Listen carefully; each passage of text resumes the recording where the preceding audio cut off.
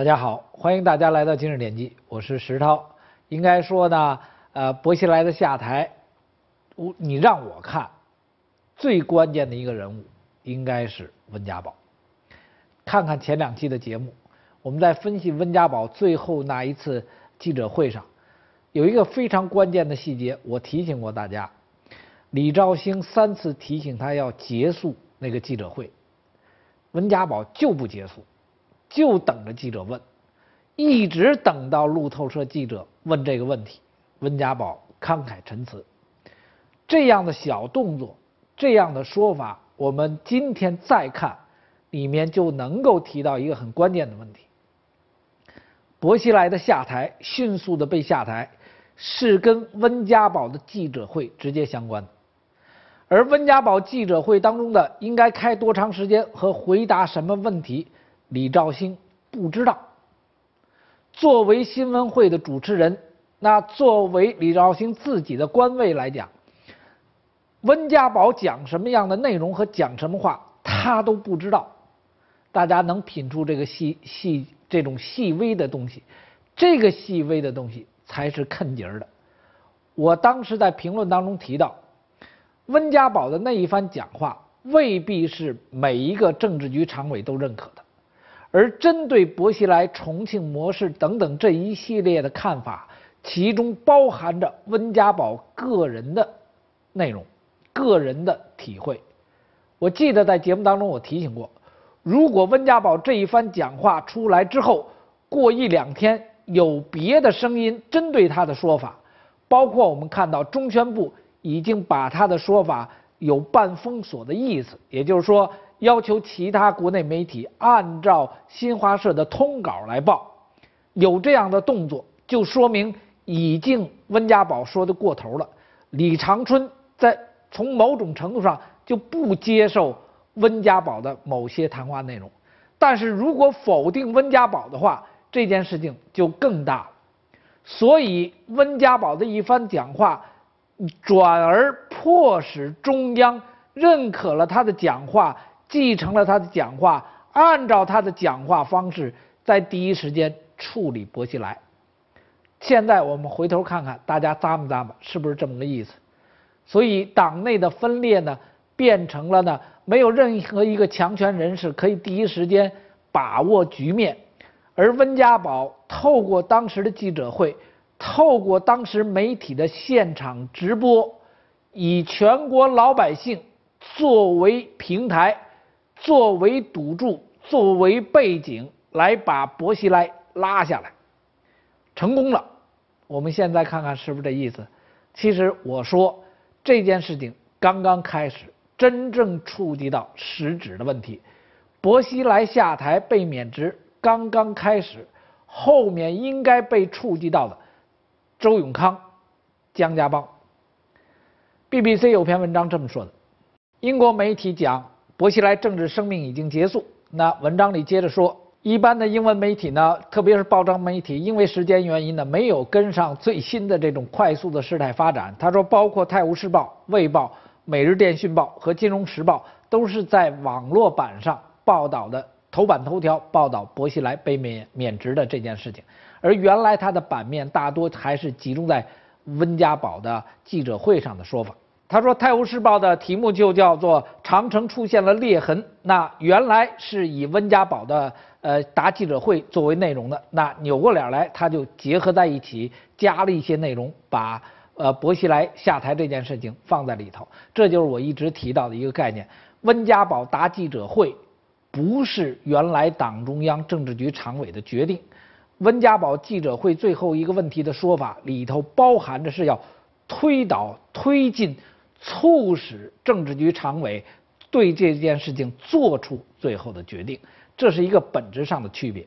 而在《泰晤士报》的网络版上呢，题目是这么讲的：太子党在副手遭到抓捕之后被撤职，这形容啊薄熙来这件事情。在这个报道之后，这件消息报道之后呢，那同样来自于北京的记者呢写了一篇短的评论，评论当时的文章题目这么讲的：北京。一心一意希望能够顺利交棒的进程出现了一片混乱。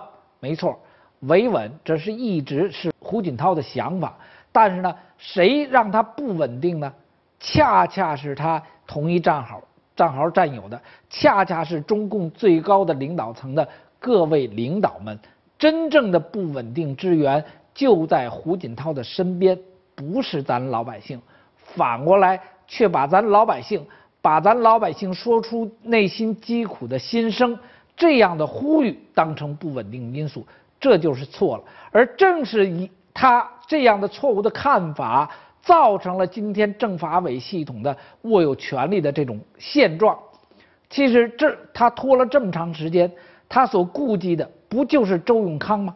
是因为周永康手里头握有武警的权力，上百万的军队在吴在这个周永康手里面，这是胡锦涛非常谨慎的。而《每日电讯报》的报道还是集中在温家宝身上，他说温家宝在开炮。那《每日电讯报》的文章的题目叫“中共高层领导薄熙来在 IP 一天之后被整肃”。那比较有意思的呢，人们集人们现在目光集中在张德江，是张德江副总理、政治局委员，兼任呃这个重庆市委书记。很多人认为呢，这是不是跟江家跟江？因为张德江是属于江家帮的人，跟江家帮有一个交代。你可以这么说，我我就说这意思，你可以这么说，但是呢。还有另外一个概念，大家记得，薄熙来从商业部长的位置给转到重庆去，都是认为他贬出京城，不让他在京城里面待着。而今天张德江兼任重庆这件事情，你他可以这么做，他可以那么做，但是张但是重庆是个烫手的芋头。大家知道，在重庆的老百姓的心目当中，薄熙来是个好官，是个办实事的官。薄熙来干的事叫杀富济贫，老百姓在他的管制之下得到好处了。这个时候张德江去接手的话，是个烫手的芋头。所以你以为是江家帮真正还有势力吗？很难说的。而同样在这篇报道里呢，他特别又集中了一点，就是谁也不知道王立军在成都美国领馆里说了什么，而所以原先党内支持者也都退避，也就是说。原先党内对薄熙来支持的人，在这种状况下都退出来了。没错，跟这些人在一起的人是利益之人。我一直讲江家帮的人是利益之人，靠花钱买来的。在这样背景之下，他一定是为了自己的利益而退出，四分五裂。这就是我们看到的现状。文章还特别重点提到呢，薄熙来在掌握重庆之后，对法轮功当地的法轮功的迫害极其严厉、极其残酷。那这点上呢，其实我们一直讲说，薄熙来下台是肯定的。王立军在当初在锦州市公安局的时候，他所成立的什么器官移植中心这些东西，这些东西是罪恶之源。他自己最感触的话，就验证了活体器、活体摘取器官这件事情。他说，当看到一个罪犯把他身上的器官移植到几个好人身上的时候，他非常感触。大家记得，在三月六号在开两会的时候，那卫生部的副部长姓黄，大家要注意，那位姓黄的先生不是中共党员，是党外人士。当他成为党外，当他是党外人士，又成为卫生部副部长的时候，你翻翻当时的今今日典籍，我们那么评价这哥们儿一定是替别人背黑锅、扛雷的。果不其然，在两会期间，他说今天在中国大陆有关器质器官移植的问题，所有的器官来自于死刑犯，但他没说中华人民共和国每年。枪毙了多少人？张三、李四、王五、何六活多长时间？什么罪行枪毙的？死的？他的器官给谁？没有这个资料。伟大的党国在处理这这些人的时候，没有任何资料。我问你为什么？大家想想，当时那位姓黄的先生，前不着村后不着店，他说出一个器官是来自于这个死刑犯。是似乎在解释着什么，而王立军、薄熙来这件事情出来之后，海外媒体都集中在他们曾经迫害法轮功时有关活体摘取法轮功学员器官的罪行，应该是最邪恶的。而在中国大陆，法轮功被侮辱，老百姓针对法轮功这件事情不知道真相，在老百姓的眼睛里，在党的媒体宣传的过程当中，法轮功可能就是罪犯，在他们被欺骗的这个心心里面、思想里面，会认为法轮功、法轮功学员是罪犯，那就迎合了王立军说的：当一个罪犯把他的器官拿出来给了别人的时候，他感到很欣慰。而谁控制的呢？政法委。而这样的邪恶呢，是最邪恶的。而确凿的证据呢，就在薄熙来、王立军身上。所以我说，大戏刚刚开始。那法广呢有条消息说，呃，薄熙来的太太已经被抓捕。文章题目这么讲的：传薄熙来妻子谷开来遭到抓捕。那文章呢，实际是引述台湾的《旺报》，他说《旺报》呢引述了在上海的台商的高层消息，薄熙来的妻子谷开来已经遭到抓捕，而谷开来是薄熙来的第二任妻子，是职业律师，太子党身份，自九七年就持有新加坡绿卡。谷开来在重庆帮助薄熙来策划唱红打黑，他提供法律上的咨询和援助。重庆对于薄熙来来讲是开的夫妻店儿，是开的夫妻店儿，您懂吧？所以薄熙来是有法律靠山、有法律依据的。